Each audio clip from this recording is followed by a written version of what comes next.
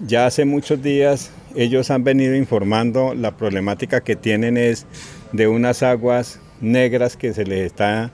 entrando a las casas por los sifones. Pero nosotros estuvimos aquí un arreglo y era un taponamiento que tenía, pero aparentemente parece que el, taponamiento que tenemos está a la parte de abajo, no está a la parte de arriba, está a la parte de abajo. Seguimos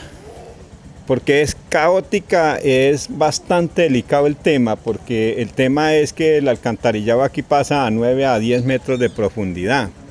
pasa por los andenes de las casas,